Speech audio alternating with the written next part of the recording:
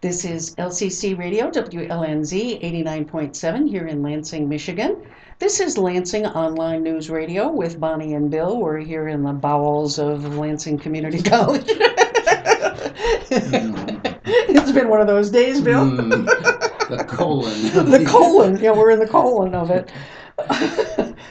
well, it, the good news is that it's nice and cool down here. You see, my blood is so nice and thin now from our cool spring that I, I'm not sure I can handle all this heat. And we're going to have a big storm, or heat, storm coming, and then a heat uh, wave coming after that this weekend with huge humidity, I guess. Oh no. Yeah, that'll just because we haven't had it yet. No, we So haven't. We haven't been hit yet. be very uncomfortable for people. Although if if we don't quit with the storms, my dogs will never recover. My dogs. I mean, I have never seen. I, I sh- the Paxil truck is just going to have to back up to the house with a giant trough and put it in. Can you buy dog food with it already? Oh, we- we got to do something because it's just terrible. I have two dogs that are both utterly neurotic. One dog hides behind the computers and tears all the wiring out. So you have to build big barricades to keep her out from there. Yeah, it gets exciting. We better not have that. Day. We're not going to have bad weather for the weekend, are we? no, weather's supposed to be nice, but humid. But Very- humid. Very humid. There's three big events coming up. Yeah, they're they're all in Old Town, and they've Yeah. become sort of like centerpieces for the beginning of summer. Festival of the Moon on Friday night. All right, Festival of the Sun on Saturday, which you'd think then, would be Sunday, and then Scrap Fest, and then Scrap Fest. kind of overlaid around it, and there it's music and drinking primarily, yeah. um, but it's uh, very controlled in Old Town. It doesn't seem to get out of hand. It seems to be very sophisticated. It does, And it doesn't just, it? Yeah, people aren't you know barfing on the streets. No, it's not a binge drinking event. No, it doesn't seem that way, and it's no. become their centerpiece, and it's also their centerpiece fundraiser. That's good too. Yeah, that's a nice community there. That's how many years? Do you have any idea? At least ten. Oh, really? Ah, It started when I was uh, had an office in Old Town, and it was uh, it started with the Festival of the Sun, which was you know sort of the entry into summer, and then somebody decided uh, maybe we ought to do something the night before that's even more laid back. ah. So the Festival of the Moon began, and there, there you'll see it. There's huge lines. There are, yeah, it's very, very well attended. That's good news. They'll have good weather. There is one event also the day before. Area photographer Roxanne Frith uh, has been having some health difficulties and needs a kidney transplant, which is going to make it difficult for her to work. And the Creole Gallery is holding a show where some of the proceeds are going to go to help her defray some of her costs as she recovers from her illness. And I think many people who support the local art scene know Roxanne, and that would be a good place uh, for people to congregate the day before all of these festivities kick off. That's on Thursday. So it's going to be quite the old town weekend. Yeah, it sure is, and Old Town deserves it. It looks nice. It has a good feel to it. Yeah. It, they've done a lot of work for very little money and a, over a long period of time. Well, you said also that there was one author you wanted to mention, Matt Bell, Absolutely, Matt. who's sort of blowing up here. He's a Michigan author. You do mittenlit.com, so you keep track of all these. Yes, he, uh, Matt Bell has been a senior editor for a, a publishing company in um, Westland, Ann Arbor area for about two years, and it's called Dzanc Press. So he basically what he does is read manuscripts, and he is also he's got a um, um, he teaches at Northern Michigan University. He's a senior lecturer there. And he's written his debut novel, and it's called In the House, Upon the Dirt, Between the Lake and the Woods, which has got a good, if you think about it. It's after- musical. After you read the book, you'll understand how the title works, because he writes like that in some ways. Oh, does he? He writes in a biblical kind of way. Yeah. It's kind of, it's a very much of a throwback, but this is what is called fabulous journal or uh, writing. Okay. Um, Magic realism type. Yes, can be referred to as magic realism. There's a lot of different names for it. Uh, but it's about um, the concept of fatherhood and things that go awry. There, in, in the article I wrote for City Pulse this last week, I, I did mention that there's a she bear in it and a squid. So Hard to weave in both, you, isn't you it? have you have to realize when you're reading this, this is a book that is not a typical uh, book that you'd pick up and read. But if you like um, Grimm's fairy tales, Or maybe Gabriel Garcia Marquez. absolutely. Yeah. Absolutely. And he's, he's had reviews in the New York Times, uh, the Wall Street Journal. He had a two page review in Publishers Weekly and included an interview with him. So, I mean, this is a book. He's getting big attention It's there. huge attention. And a lot of it, I, I asked him about it, and I think a lot of it is due to the time he has put in working with young, younger people than him, editing their manuscripts and saying yes or no to them, and he's also incredible with social media. Oh. And he oh. told me, and I, I did write about it in the paper. He said it's, it's our second life. It's not, it's not something that's unusual for people his age. They've grown up with it. How old is he again? He's 32. Oh, so he is in that age group. He's in that age group. He grew up with it. He, his entire, you know, kind of adult life that he's had so far. That's, People in that age range, they went to Twitter like crazy. Yep. You know, many of them have abandoned Facebook in favor of Twitter. Is he a, is he a Twitter guy? He's a Twitter and a Facebook, Okay. um, and any other social media source he can find. And it's, I think it's proven uh, that for him that some of the, like Flavorwire, for example, some of the online, uh, really hot, hot online uh, kind of determiners of our culture, frankly. Mhm. Uh, the Daily Beast, they've all reviewed him. Oh, wow. Great review. I mean, great reviews. Wow. Uh, and he's going to be at Schuler's Wednesday, June 19th, and he's going to be in the Lansing Schuler's, which is the Eastwood Town Center. one. So that's this Wednesday. Yep, at 7 p.m. And I think anybody that wants to see an emerging author who is probably going to be, uh, wait, and he said, I'm not going to write that book again. Ah, I'm, he said, I won't do it. He, he wants to write something else. I think of books like Zen and the Art of Motorcycle Maintenance. Pirsig never really wrote another, I mean, he wrote another book, but I mean, Yeah. that was his book. He had waited his whole life to write it. When he wrote it, that was it. And maybe that's what this gentleman is saying, that this is his book. His, It could be, but he want. I mean, he's gonna. He's already got another novel almost ready to go. It's Ah. unlike this. He's not going to Yeah. stick to that style. He's going to try something new. Uh, yeah, but Zen and the uh, Art of Motorcycle Maintenance, for people who don't know, the uh, author uh, prior to writing that book wrote um, program learning guides, Yes. and he was at MSU for a while. Well, he was? Yeah, I didn't know he was. Oh, that's cool. pretty bizarre. Oh, that's great. But uh, and if you read the book, you can understand how Oh, it fits with a program learning guide because it, He always he talks about writing the manual. it's writing is written like a manual. Absolutely. I hated those things. Oh yeah, yeah. all our science classes were in the, with those. One of my other favorite authors, and there's actually and there must be two of them out there because it's Thomas Berger. But he used to he would sort of write the deconstructed detective novel, then he would write the deconstructed romance, and so maybe this is what uh, uh, Mr. Bell is going to do. I think so. And then I, I'd like to get people starting to think about seeing uh, Gordon Young, who's written a book about Flint, Michigan. It's called Teardown. It's nonfiction. Uh, Gordon Young has had a blog on Flint, which is called the Flint Expats, for four or five years. And that's how he came to the notice of publishers. Um, he's done that every day for that period of time. But this is Gordon grew up in Flint, Michigan. And this is a story about him going back to Flint, Michigan, with the naive idea that he would buy a house there, and by doing that, he would help save Flint, Michigan. Ooh. Hmm. This was sort of the Don Quixote quest. yeah, it sure was. Uh, did he have a Sancho Panza along with him? no. No, that just him. No, and his girlfriend wouldn't join him either. She wouldn't join him. I fact, wondered. Usually, point- women usually play that role. Yeah, at one point she understood that he was totally too much obsessed with this idea, and she had when he'd go back to California where he lives, San Francisco, she created a no Flint zone. A no Flint zone. Oh, and he writes about that in his story.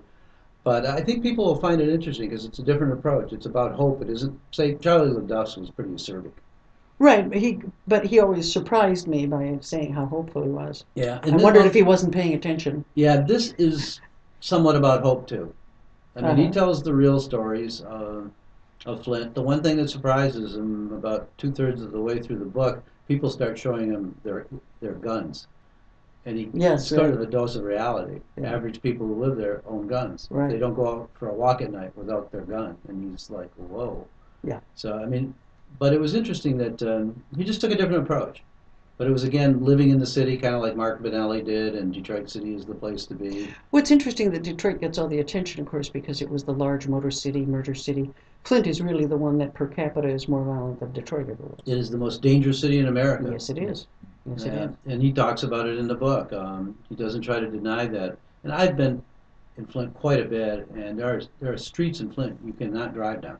Yeah. Because of trees that have been down for hmm, six months.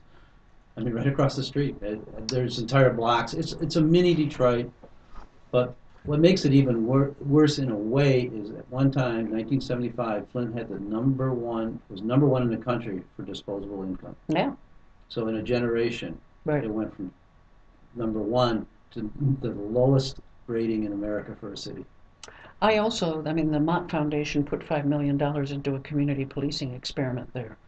And they divided the city into 64 or 68 beats, and they were two person beats where police officers shared the beat different times of day, but they would, uh, it was their community and they had, their challenge was to figure out how to make it safer.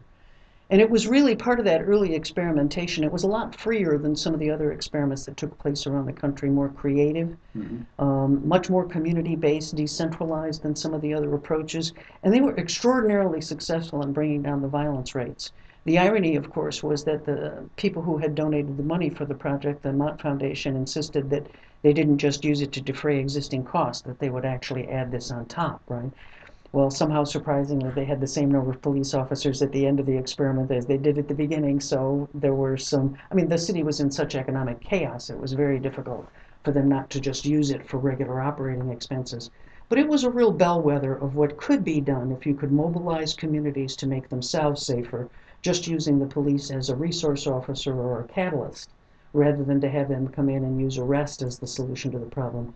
And it's too bad that they have faltered since then, because I think they were really at the forefront of that kind of unique ways for people to just grab a hold of their own communities. And that's kind of the focus of the story is how how people that live there take the community in, you know under their own wing. Yeah. They, they sort of take control of their own neighborhood because there's there's times when there are no police on the beat. Period. Well, I said the real thing we should do is teach community policing without the police. hmm The police were the only ones who really didn't like it. a lot of the officers that got excited about it were shunned by their peers. So really, what you have to do is tell the community how to work together to make themselves safer. And that's what they're doing there. And, Yeah. You know, I I don't I didn't come away with it the, the hope he did, because I'm probably more I guess in a way more pragmatic what I see there. I mean they've lost eighty thousand automotive jobs. Right. I mean, you, there's nothing that replaces that. Nothing. I mean, I, I, I keep quoting, quoting James Altucher, who the Altucher Confidential, my favorite blog, where he said, uh, "The world has changed, and we just haven't realized that the change is permanent." That Kodak up in Rochester, New York, employed 144,000 people at its peak. Instagram has replaced them, and they have 13 employees. so those other 140,000 some people have to figure out then how do I make a living and stay alive. And what does Rochester do? Right, exactly. So that's the challenge nowadays, very much the challenge. You know, and he also writes quite a bit, bit about the land or the uh, land bank there because that's where it came to fruition. The first Yes. land bank was Yeah. in Genesee County, A lot of gardening experimentation there Yep. too, community gardens. Yep. and uh, he has positive things to say about the land bank in in the Flint area. He says its only problem is it's been too successful Mm, because they own too many houses. But Yeah. he said he'd rather have that than the land speculators. And he doesn't have much, uh, many good things to say about land speculators because many of them are out of state. They bought these places off eBay, and they had they had never heard of things like scrappers. yes. You know, two yeah. days after the house is empty, it's also empty of It's a- anything. yeah. yeah, stripped. stripped. Yeah, anything Yeah. copper, any, anything's gone. Well, see, the nice thing though about the garden projects that they had in Flint, because I watched a presentation from the woman who had been in charge of that, was that the communities had such ownership in it. It wasn't just sort of Lady Bountiful type suburbanites coming in to help. These were organic things that grew up out of the community, that they guarded them and didn't have vandalism. Mhm. Which is the big problem with a lot of community gardens. You know, if people really aren't in the community aren't invested in them, um, then those gardens kind of get wrecked by kids and so forth. But they were pretty successful with that, so maybe there is some hope there. Yep, and it probably relies on the citizens that continue to live there Yeah. at, all- at any cost, frankly. Well, I am going to defray some conversation about, um, because I, well, first of all, to be completely transparent, I live out near where Jackson National Life, which is actually now Lansing, of course, under the 425 agreement. We have a patch of Lansing that's seven miles away from Lansing, doesn't even touch the city. Um, but there's a big foofra going on tonight at the 8 o'clock meeting out in Alaiedon Township because residents discovered that the new plans for this new imaging center that they're building weren't going to go next to the headquarters, but were going to jump Okemos Road and go behind some of the homes there. And apparently it was because the facility was not terribly attractive, and they didn't want it near their headquarters, which sort of says Niowave comes out to the rural area. So we're going to see a little problem there. It's also a concern because some of the neighbors are very concerned about what's called spot zoning, where you just sort of pick a place and the tiny little area change it to light industrial, and totally change the whole character of the community.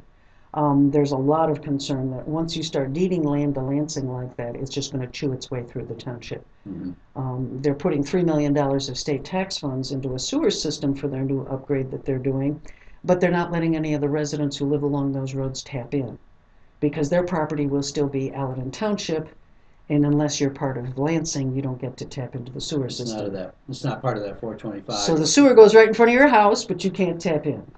Um, those are the kinds of things that make these agreements And it makes people angry. over time. Oh, Yeah, sure. Not in my backyard becomes a different issue. Yeah. It- it- So I'll be bringing a wrap up on that, I hope, next week, and we'll take a little closer look at that. So let me get this straight. The residents are not only concerned about spot zoning, jumping across the street, which will cause traffic problems, but aren't, aren't they concerned about it, them building an also an ugly building? Yes, it's Niowave all over again. Yeah. And it's in my, you know, not in my backyard. It's going to be directly in their backyard. Yeah. And it's going to be on some wetlands that they're afraid are going to lead to all those kinds of flooded basements that you run into once you see that kind of construction going. So there's so many concerns and lots of problems. And again, if they're really building an unattractive building, remember they get out of all their property tax by arguing that their building was so awful. Oh, what a white elephant that nobody could use it for anything else, so you don't have you couldn't possibly charge us property tax on that. Well, the only reason it was ostensibly a good deal for the township was that they would get two mills of tax on that land, but if you never pay any tax, then I don't think you get the two mills. And, you know, I guess they've already announced they're gonna build an ugly building. It's sort of the new approach, This is isn't a it? new for- approach. for- And this is, this is a company that prides itself in art collecting and Yes. supporting the arts in the community. Yeah. Yeah. Hmm, no way. Hmm, They- so- There's a plan for an ugly building, you don't have to go very far. Well, I, I, so this is gonna be an It's interesting called project. the city market, which has been replicated Oh, in Niowave and Yes, it has. Yeah, I hate to think. Maybe we're going to get one of those. I don't know. So I will keep everybody uh, posted, on, uh, updated on that. We'll see what happens at the township meeting tonight. That's going to start at eight o'clock. But we are joined this evening by my friend Sam Rose of the Forward Future Institute. Still, or do I have, or is it the? f- Give me the proper name of it. Well, you know, I've changed employers. I work for a telco company now, Comlink, Comlink, and uh, still a partner in Hollymead Capital Partners. Hollymead. Ca- Aha. And you're not doing Future Forward. Not really. I mean, Not really We're all the rest of us are still engaged in stuff together, but not under that name. Okay, I understand. Because you've been very involved, and we may talk a little bit about some of the things you've done with food people in town and so forth. Mhm. But the real reason that we wanted to bring Sam in tonight is we have seen this explosion of interest in uh, Mr. Snowden, Edward Snowden, Mhm. who's brought attention to the fact that people who know how technology works at that fundamental level, first of all, they have skills that the rest of the world doesn't have, and it makes them hard to assess. Mhm. Um, I, uh, many people who have been talking about Mr. Snowden, have, Edward Snowden, the person who in the Guardian newspaper has been revealing the NSA eavesdropping and all of the tapping into all of the governments tapping into all of our various kinds of telephone and electronic media. And I think, you know, that remains such a mystery to so many people. The digital world is still so new that people don't really realize. From your perspective, Sam, as somebody who does understand this stuff and IT stuff, Mhm. is Snowden legit? Does he know what he's talking about?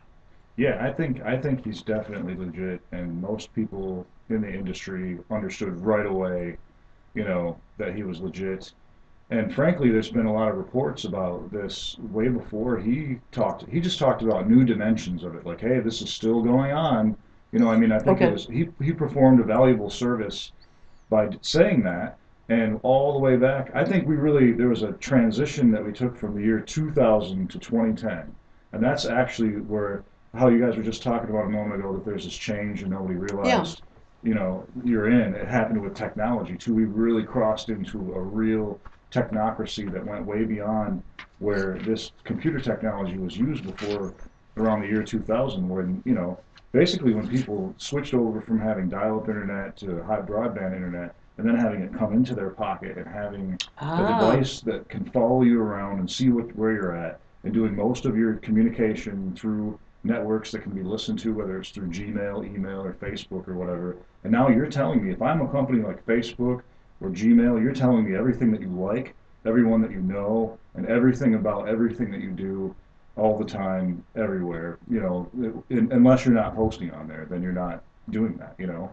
And they and they can infer a lot even with what you're not saying. Well, this is the interesting thing to me too. L- oh, by the way, this is LCC Radio, WLNZ 89.7 here in Lansing, Michigan. Don't want to get in trouble with the government for that, because we know they're listening.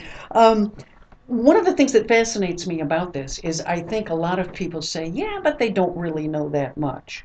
But I'm starting to look. There's a book called Big Data, hmm and I was reading the other day in Business Insider, and they were arguing that the next big technological leap is not going to be hardware. It's not going to be that.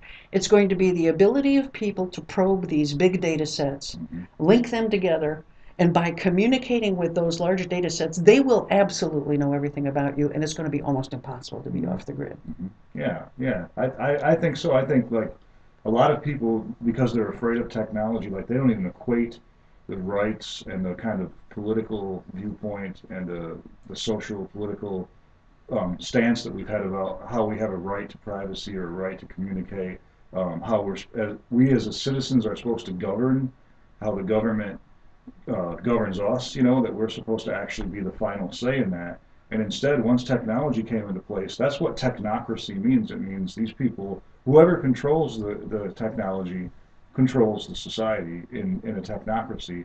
And that's where we're pretty much getting deep into that space already. And people don't even, they don't even, because they don't understand, I think because people lack the literacy of, the fundamental literacy of how network technologies work Right. that they are lost with how that resolves to um, their rights and how they're going to be responsible citizens that are going to try to check the government for how they're doing this. And the government's just pushed fast forward on it. They've dumped a bunch of money into, you know, getting beyond um, you running out ahead of your ability to keep them in check as citizens. So I think like the best thing that people can do over the next five to seven years is learn how this works. You know, become digital media literate, become computer literate, understand how all this stuff works as much as possible. That's really what I think. A good friend of this show, Todd Haywood, who is openly HIV positive, um, worries a lot about all of the criminalization of that issue, but also the privacy issues res- related to whether you have testing and what your test results are. It's getting to the point where, uh, if I'm understanding big data correctly, they're not going to have to tap into any kind of secret record in order to determine that you're HIV positive. There will be a certain set of markers that any insurance company, just by looking at the records and probing data, large data sets, they'll be able to come up with a list of people that they view as high risk for this, high risk for that. And they will start rating you in your insurance for those things. That will start to become part of your permanent record, which may or may not influence whether companies want to hire you. I mean, I was reading the other day that there's people who make certain paint choices in their cars are more prone, prone to certain kinds of accidents. So insurance companies will start differentiating in their actuarial tables. Well, if you want a red car, you're going to have to pay more in your insurance for it. Mm-hmm. And I don't mm-hmm. think we fully realize the implications that has, not just in the government realm, but in the private realm. Mm-hmm. They're going to start rating us, aren't they, and charging us and And it's and it's accurate too. It's not made up things like these are. They can actually look at these pictures of data if, if they're real collections of stuff you've done, and they can infer everything that you're talking about. You know, it's real. I mean, and so it also comes down to like, would, would we allow the government to pass a law that would allow an insurance company to do that to us, kind of thing? You know what I mean? You're That's right, a policy right. thing. But um, you know, can we stop them? and and I mean, yeah, we. It, well, I guess we can't stop the government from doing. No, I mean, could we st- could we stop the co- could they even pass a law that would make sense that would say they can't do that? Yeah, and it's and it's funny because nobody understands how it works, and so it's just like you're put, and you know that you need to use these technologies to get by now. So you're going to put all your information into it, and then people are going to capitalize on that. And and and the only thing that I can really think is if people start getting together and teaching other how, each other how to use this stuff and how it works, and when they're putting information in, what they're actually doing. I think that's the only. It's a very difficult step, and people aren't used to it. And we've all been taught like, well, that's somebody else's problem. It's the IT guy or the or Right. somebody has a role to know that, and I'm going to defer to him like a lawyer knows the law and the IT guy knows IT. But because of the per, the prevalence of technology, and because it's within our grasp, and there's actually a lot of positive, empowering things about the network technology. If people learn it, they can actually, you know, move themselves forward a lot more. If you think about everything maybe that you've done with technology since Oh you know, God, I just 1995. it's a marvel. hmm You know, um, about three months ago, I got a notice from my auto insurance company. Uh, They're starting a pilot where they want to, didn't exactly say how they would do it, but basically they would monitor your driving. So Is that- it, the progressive has the little thing you click into your car? This wasn't progressive, but I think that would be very similar to what they do. And, you know, they'd see if you're driving fast, you know, all Yeah. those kinds of things, Mhm. and, no, I don't think I want that. Yeah, yeah. Uh, And they- and they'll claim. Well, they're telling you they'll give you a discount if Yeah. you're a good driver. so- Exactly. And they'll claim that they don't look at things like how fast you're driving, but rather like how recklessly you drive, like how hard you hit the brake, and, and maybe that's the case, but a lot of people I'm sure turn that down because, you know, it's, and it, but for a company, it's like the more that they can digitize and automate all this information, the easier it is for them to run their business, basically. Well, sure, look at, money. I don't know if, um, our listeners, uh, any of them have ever run a credit report on themselves.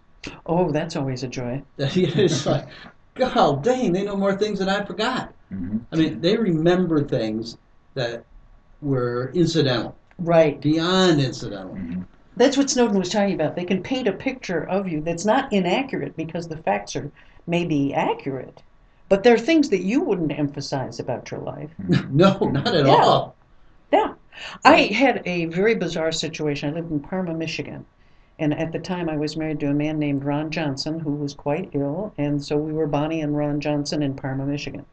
Did we know that there were two Bonnie and Ron Johnsons in Parma, Michigan? No.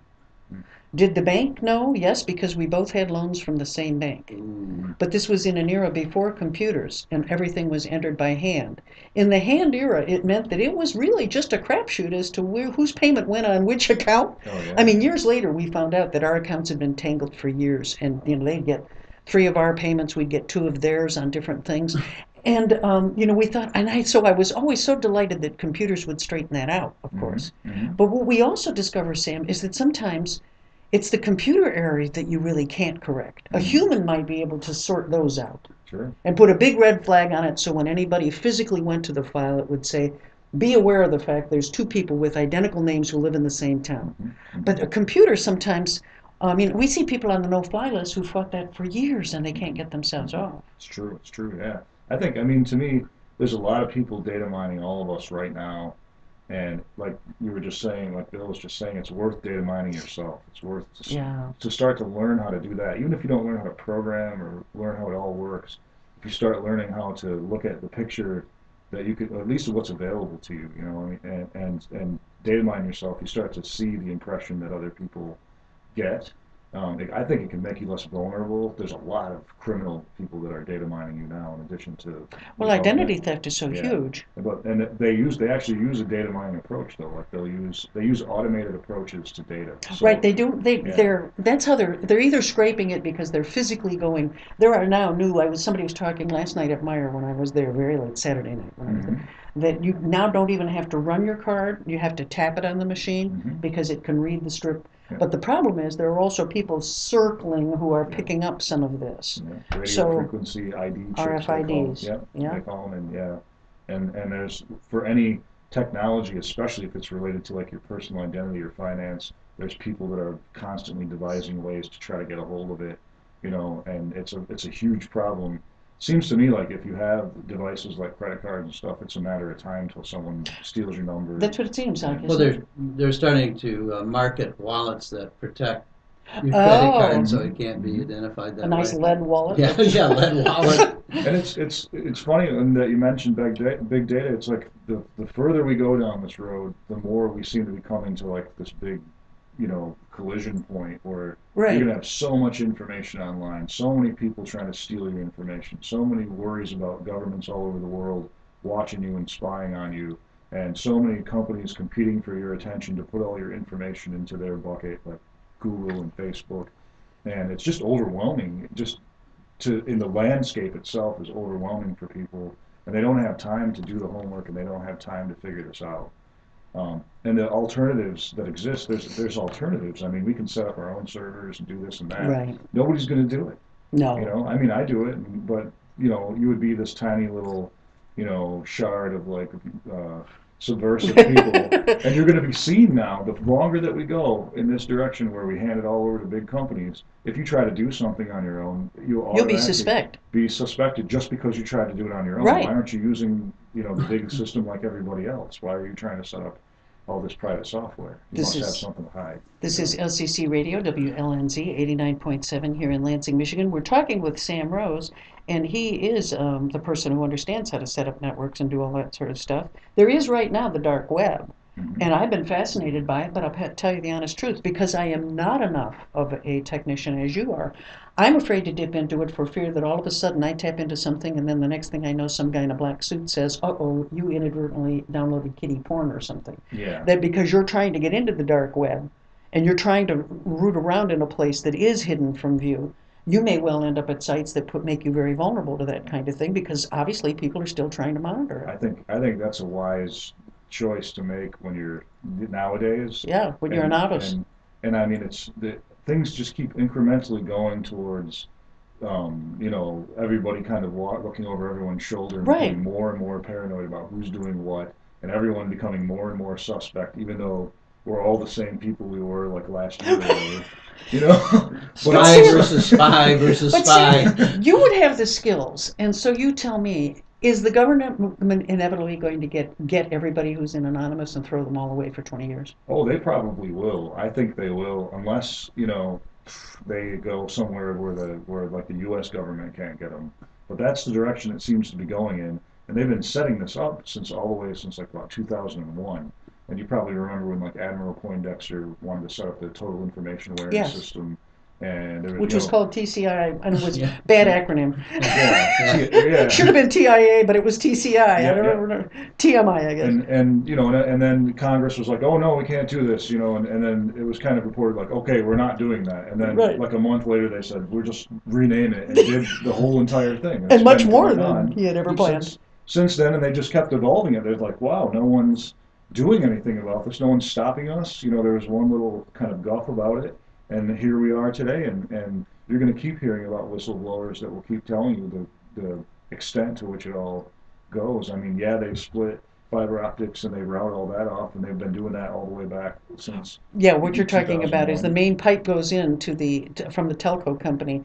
The government just simply splits off part of that Mhm. pipe Mhm. and runs it to its own little facility and loads And, it. and I would say it's plausible that you can almost guarantee that they do that with every major carrier. And and and if you look at the traffic now, it is far less point to point where people you have individual people that connect to servers, and far more lot huge amounts of data that go through your pipe goes into a big pipe that goes into the broadband. Basically, it's all broadband. And so it's a lot easier for them to monitor that. There's one choke point that they can put this splitter on, and you know per carrier and listen in on it. You know where it, almost all of them, if you look at if you look at the network maps that are out there for how all these fiber carriers are routed, they all have hubs, and that's all they have to do is go into these hubs. And there's been reports going all the way back to like 2002 that they had some room in the back of AT&T somewhere or whatever that no one could go into. You know, it's interesting. This, just in case everyone forgets a little bit about history, this day in history in 1972,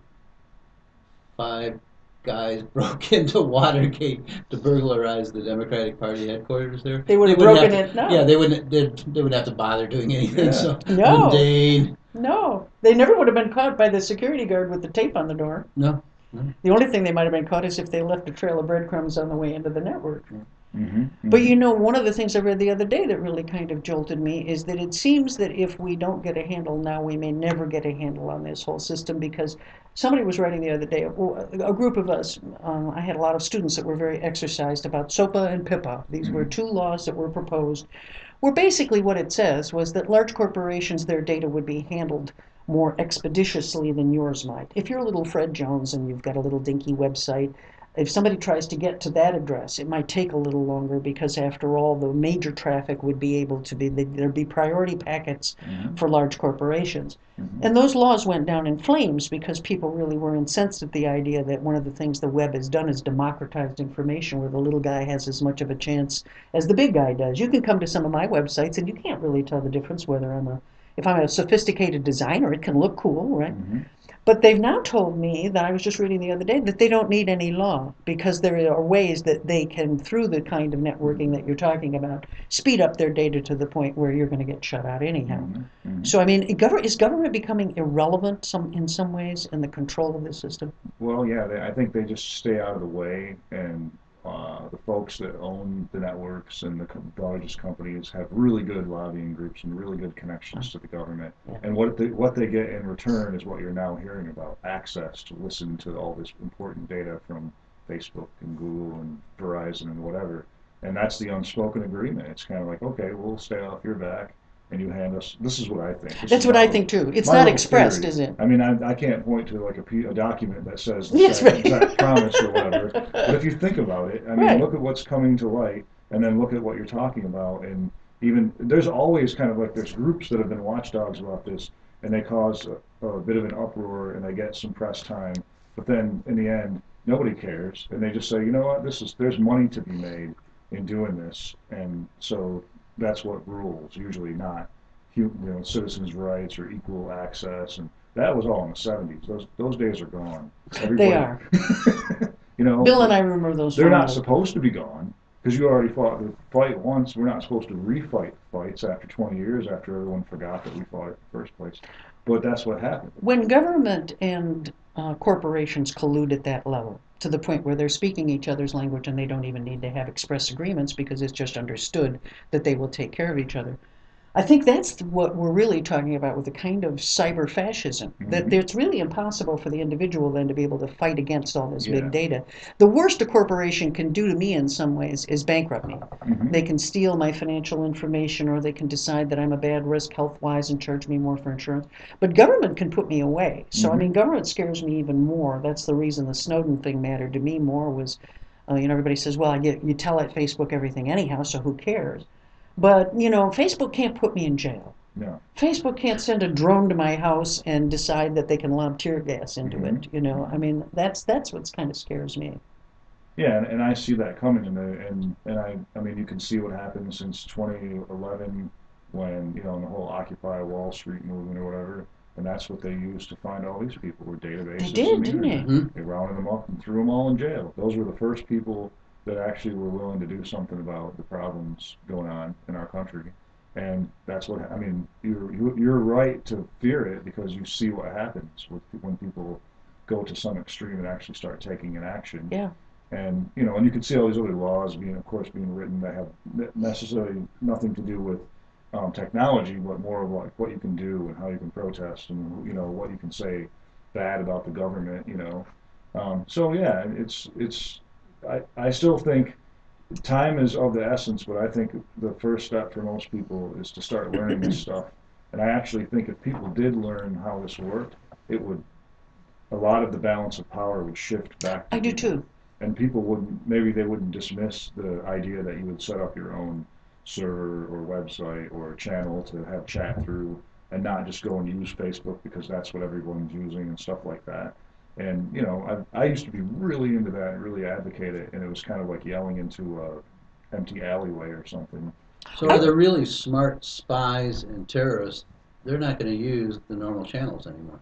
Oh yeah, true. And they haven't probably been for some time. They're Mhm. probably back to blind drops, you know, in post, post offices or something.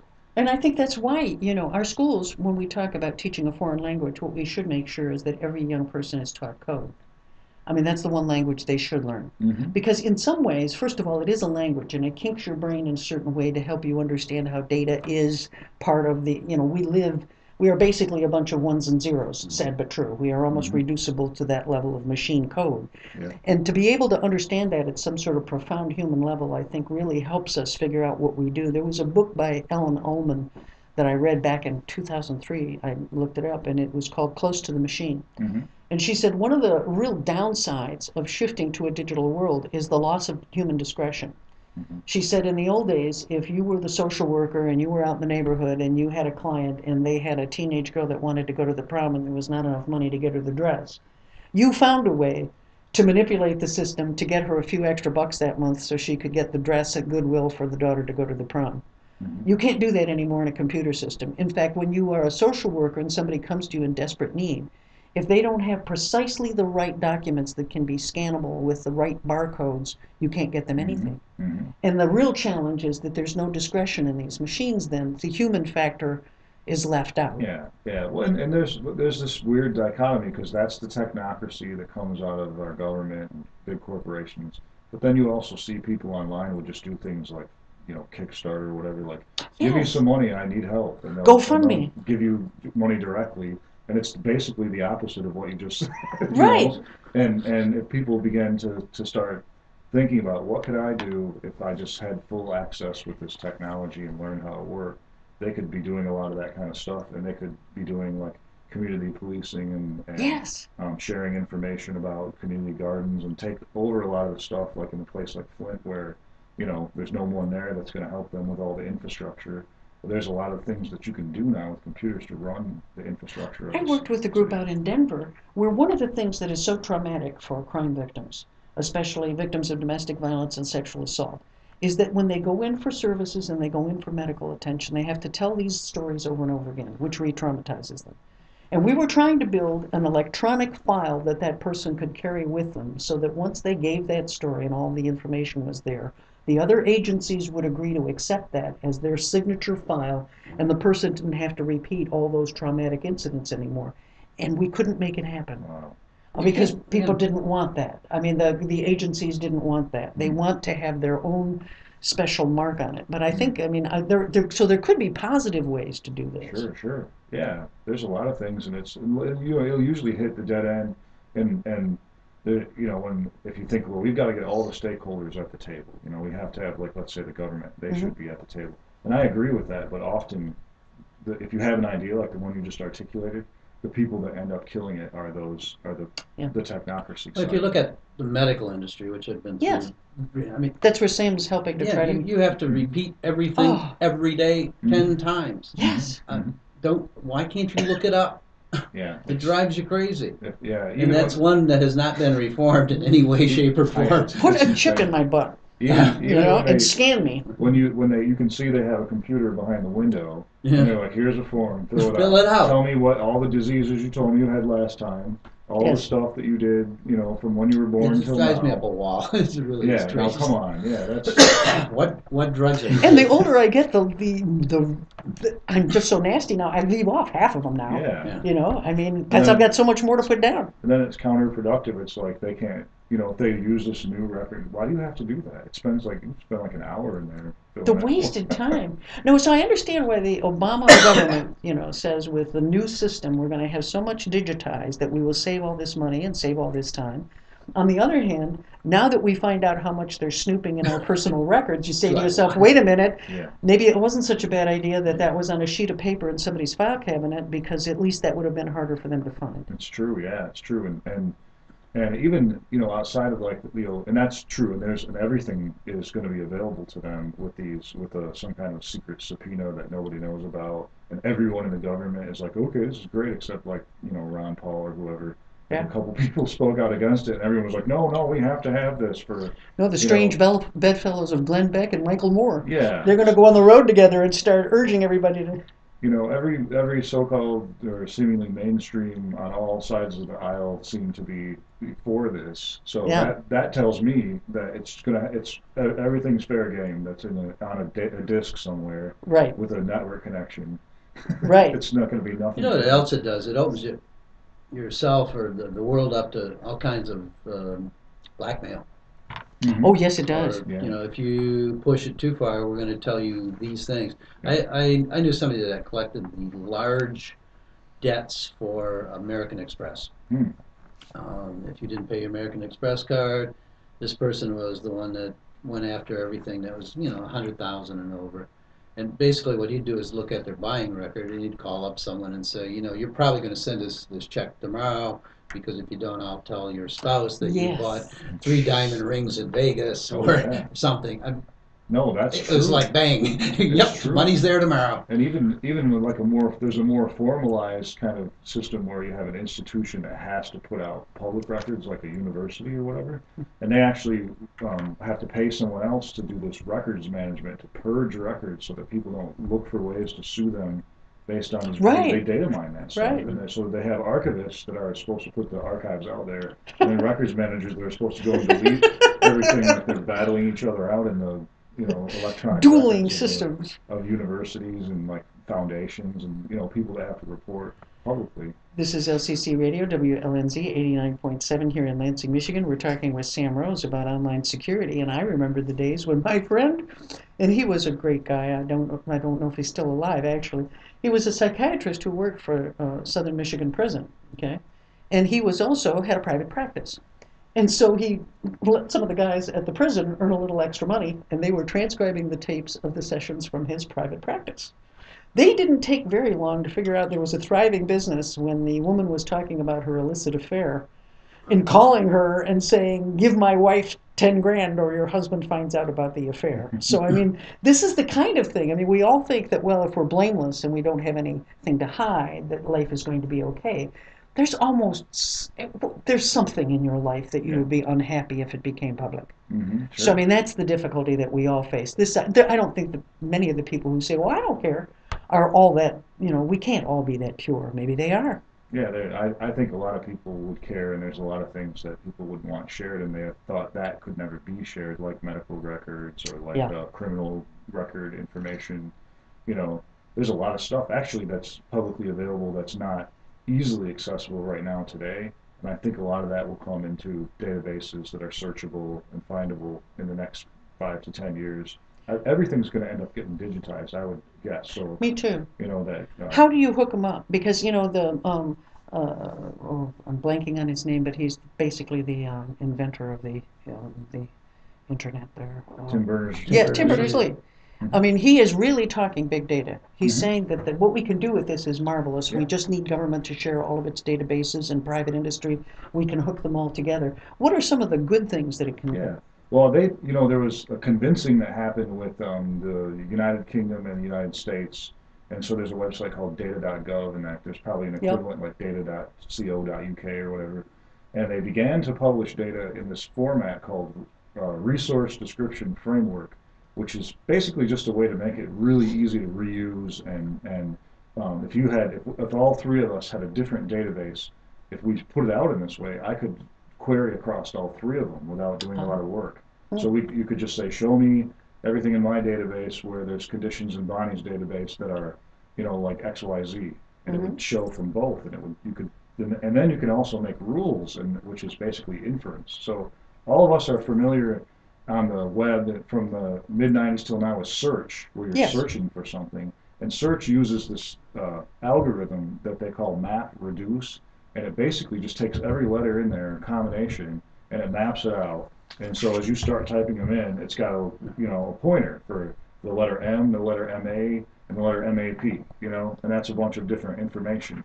But the way that Tim Berners-Lee idea works is you actually would make kind of like a a statement about the information. If you would say map is a model of the landscape or something, and that Okay. would be the data that you store in it. And then Google doesn't do this right now, and a lot of the databases that we can access are just searching Right. oriented. They Wasn't he have- saying Wolfram Alpha would Alpha, which was the new type of search uh, database that he was Mhm. putting together, it would be the kind of thing where you could just query by saying, Yeah. "Don't just tell me about all the studies about breast cancer. Tell me what merged together they say is the best thing for somebody with stage four breast cancer who has tried this chemo and it didn't work. What would be their best option Mm-hmm. Yeah. then?" And, And that's yeah. very sophisticated. I mean, that's mining all Mm-hmm. the information, searching it, and deciding what the consensus is within those studies, and then reporting it back to the Mm-hmm. Yeah, there's there's some there's a lot of technology, and it's funny. This is where we're at now. Is like what is act, what actually can happen is like you know very small, and a, and a very larger line can be drawn to what's possible right now. So Yeah. right now we could do something very advanced, but what most people are using and what's actually being invested in and developed is way back here in a small, you know, and so that's happening with everything with technology now. I mean, the, hospitals are way back here giving you a piece of paper when they put it, put Yeah, it in okay. a database, and et Yeah. cetera, et cetera, et cetera, on and on and on. Yet we could you do know, all of these marvelous there's things. A, there's a millions of things we could do with like smartphones and this and databases and, and everything that Tim Berners-Lee talked about with semantic web and, and doing Yeah. queries that are natural language based and meaning making is 100% completely possible to do with just out of the box technology. So is the now. government really taking all of our data and saying, Bill Castanier, ah, we remember you from the 60s and we've got all this stuff that's now getting digitized and we're keeping an eye on you for X, Y, and Z? Or is it really dumb and it just goes, oh, we got the wrong Bill Castanier? Yeah. Do we know how dumb they are or how smart they are right now with all the spying they're doing? Yeah, the, well, I, I believe to an extent that they're probably looking for um, terrorists at this point, or they're looking for, you know, international criminals. I believe they're not prioritizing um, citizens because I think if they were, they'd be coming and knocking on people's doors and doing something if that if that was like a big, you know, concern. But the problem is that that's a slippery slope. The from- potential's there. I mean, once they've got this database and they and they're piping our information through, yes, they may only be looking at this window on it, but it's so easy to write a different query with the same framework that now looks at, you know, America instead of the people that are talking to Americans. You know what I mean? They're, Oh, yeah. They're, they're filtering all that data through, and they're supposed to be looking for. That's what they tell us. You know, we're we're just looking for people that are, you know, terrorists or talking to terrorists. But that same hope, that building blocks that made that looking for terrorist framework can easily be turned on America, and it probably will be eventually. It seems the know. temptation is just too great. Even if it's just like the weakest Americans or those people who are causing problems or getting in the way of government or, you know, it's, Well, I was Tea warning Party and the IRS. yeah. Well, I actually think it's going to be drug dealers. Yeah. Oh, drug dealers. Because, you know, they established uh, the RICO laws for certain things, and then very quickly they said, you know, and it was terrorist, and then very quickly they said, well, it should apply to drug dealers as Yeah. well. So that's sort of the foot in the door. That could be a good signal, is like whoever's starting to be looked at as terrorists are gonna be the targets inside of the country for. Exactly. um, I figure they'll be the this- ones For data mining, yeah. Oh, yeah. Yeah, but, but I, I mean, there's, I think it's really worth spending time on the positive too. I mean, you get, actually get a lot of the negative you can get from mainstream media, but a lot of people don't understand what is empowering about technology, what's positive about it. And to me, it's the only pathway where people are gonna wake up and say, oh yeah, we're, we're supposed to be free citizens that govern, you know, that Yeah, control our yeah. government. And, you know, instead of thinking like, oh God, I don't control this software, so I better Think of how empowered I felt today. I discovered that The Guardian was holding at 11 o'clock a webcast with Edward Snowden. Right. And I found out at like two minutes to 11. And so I went in and I posted a question. I don't know if it got answered. I've been trying to search through the new, but, but within just a very brief period of time, they had 2,200 questions that have been posted. I mean, what you also discover is that, I mean, there's this mass response, Mhm, right? So, I mean, you know, but you do get your shot. You have a shot now. You can ask a question. Yeah, This is an international story of immense, uh, you know, immense importance. yeah. And average citizens are getting a chance to put a question in the hopper. That seems to me to be a miracle in and of itself. I agree, yeah. You know, and to finish answering your other question, that, so the, our government made these databases, and if you look, they kind of stopped. So they, they started doing this, and so did the UK. They started making these publicly available Yeah, what happened? And then they just kind of trailed off. And I think what happened is that, in my opinion, this is my theory, is that people realized how powerful it would be I wonder about that. to make census data and all of the data that the USDA collects and all of the data that the EPA collects into a queryable, you know, where you can Yes. ask a question like, what is the town that has the most pollution with the population of under 10,000? Boom, and get all that. Ask a question like that. And then factor it for race and see if there's racial bias in where we're polluting. All those points and all those data points are Ah, queryable. Well, look how surprised the public was when they discovered that they could tell how you voted. right. I mean, Yes. I, mem- I remember being surprised, Yeah. and I didn't feel good about it. Well, Yeah. that you voted. Yes. Yes. Yeah. And And, well, they because, pretty much know if you're well, in an bad. open primary Yeah. too, when you've got a closed primary, Right. then all of a sudden it's pretty easy to figure out how that person voted. So that's what makes it so difficult. So they can really, they can say how you voted, what your medical conditions are, how much money you make, all the things that you think you're keeping private are by now probably private, uh, open to somebody. hmm hmm And what I think was interesting too to me about Edward Snowden, and I think the place where they're getting so much pushback from the government, is that he's saying he had the authority, and this was confirmed by uh, some reports over the weekend, and now they're the government's trying to push back and saying no, those reports are wrong, that he could search anybody without a warrant, warrantless searches. Mhm. If they were allowing warrantless searches, I think that's really um, infuriating. There's 1.2 million people with top uh, secret clearance. Mhm. I don't think you can trust 1.2 million people to root around in other people's data and Yeah. not I'm sure it was happening. I, I would be shocked and amazed if the, if the scenario that you said is not exactly what was happening behind the scenes. I mean, they couldn't do anything yet. I mean, there- nobody came and knocked on our doors and hauled us away. Right. But it's still, you know, they're by law. They shared supposed- information with your ex-husband, though. Yeah. You know. Think how much fun it would be, the, the novel about how many of those folks are spies for foreign government. you have It to wonder. Yeah, you know there are. Yeah. Yeah. Yeah. But, I mean, it's sort of like when you have information on everybody, it almost then becomes irrelevant. hmm Because, I mean, you can't possibly scope out everybody and decide. I mean, you'd have to figure out, so you know all this about them, so what can you do with it? Yeah, exactly. And but I mean, the thing that it is infuriating that there's supposed to be a check that you Yeah. know people that we elect or somehow have a say in getting empowered are able to say whether they get to look at our information or not. And with that happening, that's a big that's a big problem if we all still believe in that. I which I guess we did, like I was saying, like in the '70s, and then we just thought like, you know, whatever. You know, one of the things that's kind of fascinates me too, Sam, is that I, a lot of people who are supervising the IT guy, right, don't have a clue. True. true. Um, sometimes they ask you to do the impossible, or then figure you can get it done by lunch. Sometimes they don't even know what you're doing, Very true. and you could snow them. I mean, one of the real problems with assessing this whole area of the field is that it's almost like you're a separate priesthood among us, and we have to trust you because you're the ones that are holding these sacred texts, Yeah. and you're the only ones who can interpret them for us.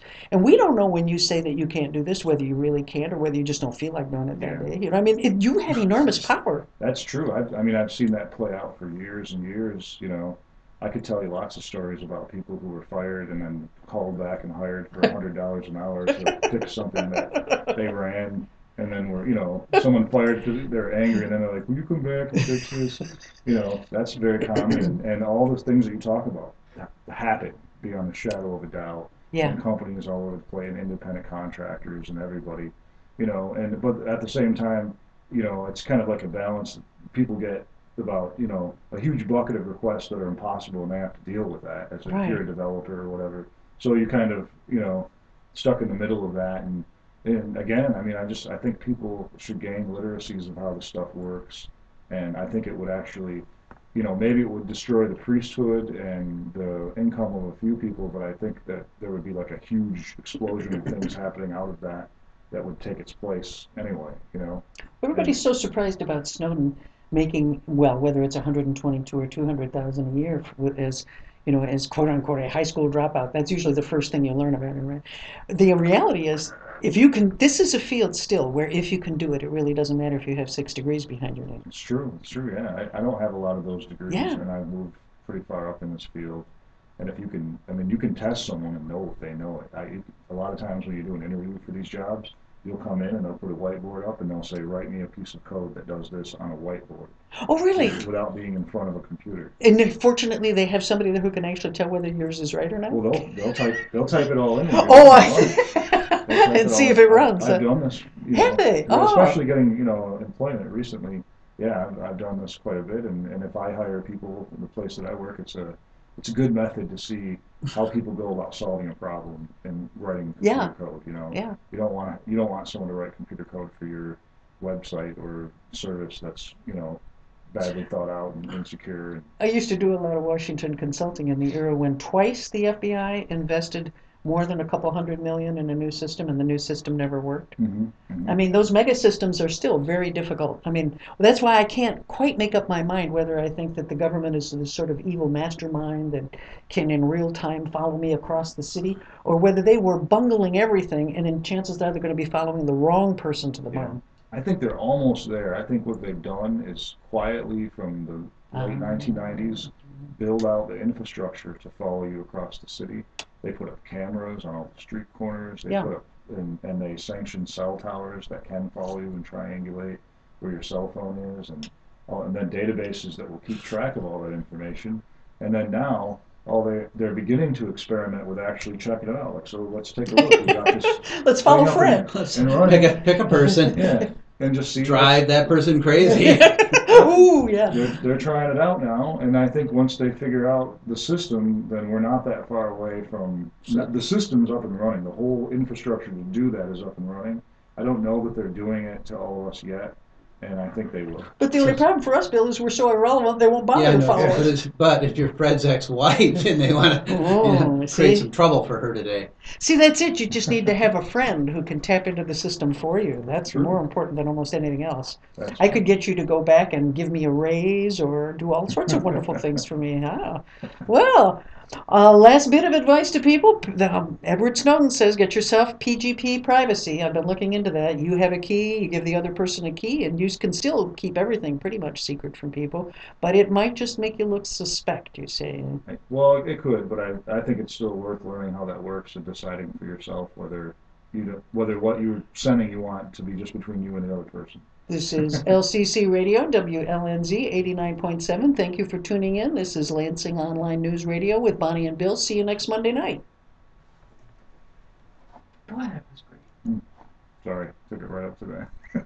No, that's good. That's exactly what I want. We should take it all the way to the end.